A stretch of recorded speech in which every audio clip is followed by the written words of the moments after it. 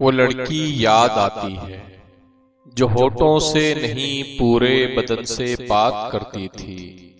सिमटते वक्त भी चारों दिशाओं में बिखरती थी। वो लड़की याद आती है। वो लड़की अब न जाने किसके बिस्तर की किरण होगी। अभी तक फूल की मानिंद होगी या चमन होगी। सजीली रात अब भी जब कभी घूंघट उठाती है। लचकती कहकशां जब बनते बनते टूट जाती है। कोई अलबेली खुशबू बाल खोले मुस्कुराती है।